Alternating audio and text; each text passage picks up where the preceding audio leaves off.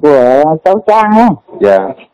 Ừ, ờ, cô ờ, theo dõi cái chương trình cháu Trang từ đầu mà lấy cái thằng U30 ấy. Dạ.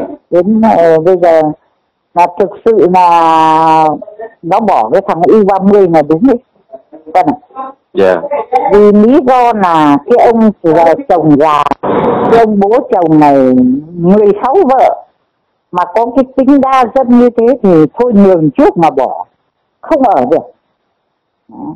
cho nên là nhiều người cứ gieo rất ra cháu Trang là bảo cháu Trang là thế này thế khác. Nhưng cô xét hoàn cảnh như bản thân như phải vị như là nhà các người như thế, thì các người có để con gái các người như thế không? Mà làm sao này cứ đưa người ta lên đi tút chứ bây giờ người ta bỏ, người ta về, người ta lấy người khác mà người ta có cái tranh vợ cứ chồng đâu đây là trai chưa vợ gái chưa chồng người ta có quyền người ta đấy. Tại sao để cứ đưa người ta lên tút xong nói xấu người ta? Đủ các thứ phải không cháu? Dạ đúng rồi. Đấy. Thế bây giờ người ta lấy được gia đình nhà chồng người ta hẳn hoi tử tế. Thì lại cũng lại lại kèn cựa và nói xấu người ta. Lại bảo người ta thế này thế khác là có lừa lọc liệu có ở được hay không? Chê người ta. Cho nên là cái cô thấy nhiều cái youtube đưa lên hoàn toàn là không có sự thực mà lại cứ ghen năm tức ở ờ, à, kể xấu. Người ta như thế mà tôi cho là không tốt. À. vì là người ta bây giờ cái ông già kia ông như thế người ta phải tránh trước đi. Không thể ở được người ta vẫn thương cái thằng khởi thật nhưng vì cái ông bố chồng, mẹ cái bà vợ ông này khai là 16 vợ mới lại cái chú Tiến đấy. Chính cô còn nghe xem cái youtube tiến chính bà ấy nói. Mà bây giờ họ không hiểu cho cái ý họ này, cứ bảo là cái con này là lừa đảo. Là là là nói xấu nó, lừa đảo. Đấy. bây giờ cái gia đình ở bình phước này người ta quá tốt, tôi con người ta như thế, người ta quá thông cảm với hoàn cảnh của cái trang người ta hỏi cho con người ta thì mình thì thì gì phúc cho người ta chứ sao này cứ đưa người ta lên kể xấu người ta. Bảo người ta là đại gia như thế mà đại gia cái nhà nụp sụp. Nhà, nhà nụp sụp người ta bao nhiêu đất đai của người ta đúng thực sự.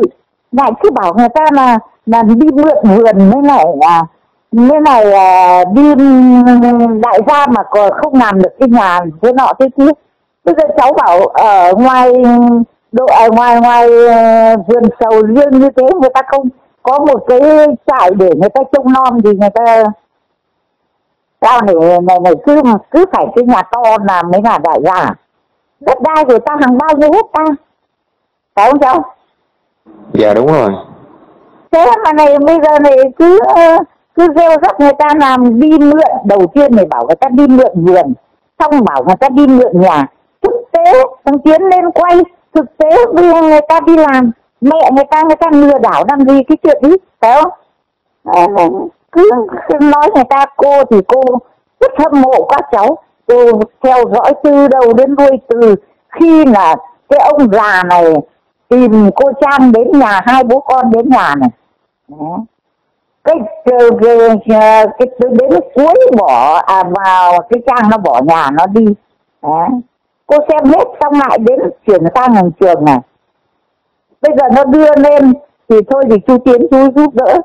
Nó cũng khổ. Nó giúp đỡ được người ta mà cũng trả được ơn. Lại còn nhiều người cũng lại trách chửi cả cái chú Tiến đó chú quá tốt luôn. Nên là nhiều người người ta chửi. Cho nên cô cho không đúng một tí nào cả. Bây giờ người ta làm việc tốt cũng cho người ta làm thế này thế khác mà nói lên cộng đồng mạng nói rất mất dạy cô những người thiếu văn hóa đưa lên nói rất mất dạy. Cho nên là chị cô cô lấy cái số điện của cháu cô gọi cho cháu cô có ý của cháu là như thế. Bây giờ mình ờ, mình có cái lời khuyên cho chị Trang trong thời điểm này không cô?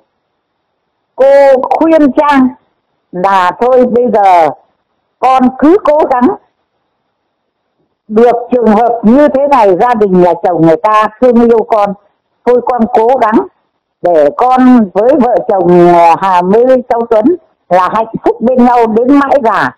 Mà gia đình người ta quá tốt, tôi con không phải nghe ai cả. Cứ cái tâm của mình. Cô khuyên ờ, cháu Trang này như thế. Cô năm nay 75 tuổi, cô ở tận Bắc, ngoài Bắc thôi nhưng cô theo dõi cái này rất ác nhiều người nói là chị Trang là đam mê tài sản này kia thì cô thấy là sao? Không. Có đây đầu tiên có phải Trang đâu nó biết được tài, là, là, là, thằng này là tài sản nó như thế nào đâu. Nó có biết đâu. Đừng nói là về rồi. Nó mới mới mới. Đầu tiên là là là nó cũng bảo nó đồng ý. Nhưng sau thì nó nghĩ đi như lại nó lại định là nó không đi rồi. Nhưng tiến là động viên mãi thôi cứ lên mà là là là nó lấy chồng là nó ở với chồng. Dù không cần giàu nhưng mà phải có tình cảm phải chồng phải biết thương nó. Chứ bây giờ nó lên nó đã biết như thế rồi thằng chồng đã và đã nói hay nói rồi nó không phải là, là như cái hôm đến nhà cái trang. Thì nó đã biết như thế rồi nó nó thương yêu rồi. Chứ đâu có phải nó mê tài sản đâu. Nó mê gì tài sản đâu. Nó cốt chồng thôi nhiều người cứ cho nó ghét nó là nói nó như thế. Hoàn toàn không đúng. Cô thấy không đúng. Cô năm nay 75 tuổi rồi nhưng cô cô cô cô soi xét là mọi người nói không đúng một tí nào. À, oan cho cháu Trang quá. Nên nên là nhiều người cũng nói là nếu mà mẹ của chị Trang mà nghe được những cái lời chê bai như vậy cũng buồn. Thì giờ cô có cái lời khuyên cho chị mẹ chị Trang không cô? Để cô cũng bớt buồn lên mẹ của cháu cháu Trang, tôi cũng khuyên bà không phải nghe ai cả. Tự cái tâm của mình với con mình. Mình ăn ở sau khắc có rời soi xét. Cho nên là bà cứ cố gắng không nghe vì không nghe ai mà nói thế này thế khác cả. Cho nên tôi khuyên bà là thôi, sống tất cả vì con. Là cứ hạnh phúc với con mà ở sống với con mãi mãi cứ khỏe mạnh là được chứ không phải nghe ai. Đấy yeah. cô, cô khuyên mẹ cháu trang là như thế. Nói chung thì trang cũng buồn bữa giờ gặp nhiều ờ, cái lời góp ý khán giả nhiều quá cũng hơi gọi chạnh lòng một chút. Cô xem những lời bình luận còn chửi chửi tan tệ chửi mất dạy thôi nhưng cũng có cái nhiều cái bình luận người ta cũng khuyên răn cho là cháu trang như thế. Nhưng nhiều cái chửi tàn tệ mà chửi cả cái chú tiến này cơ. Nhưng cô cho những người quá kém lại bảo mà không đi quay đi tút gì những người nghèo khổ. Mày cứ quanh đi quẩn lại mày chỉ quay cái cái, cái trang như thế này thế khác. Mày hiểu ý là là này đổi nó là phải nặng cái trang hay nọ kia. Thôi mày về mày, mày lôi nó về đi những người như thế cô nói thật chứ đừng nên đi tút làm gì. Nhìn xa trông rộng hắn nói đừng nhìn ngắn quá mà phát biểu các câu đấy. Người ta đi làm đi tút người ta rất là có nhân có hậu. Người ta rất là có đạo đức. Chứ người ta không làm cái kiểu như những người nhìn xa không nhìn xa trông rộng mà lại nói người ta như thế. Những cái, chính những người nói như thế nên là, là cái loại người không tốt còn xin lỗi các cháu các cháu đi làm vi tút các cháu rất khổ các cháu sung sướng gì đâu nhưng mà những người người ta không biết người ta cứ nói thế này thế khác ấy người ta vất vả người ta đi người ta làm người ta giúp đỡ mọi người nhưng mọi người có biết đâu Yeah. Dạ. Cô nói thật cô không có cái số điện của thằng Tiến này, chứ cô có cái điện của Tiến cô gọi trực tiếp cho Tiến. Cô cũng khuyên cháu, khuyên nó. Nó làm ăn đúng đấy.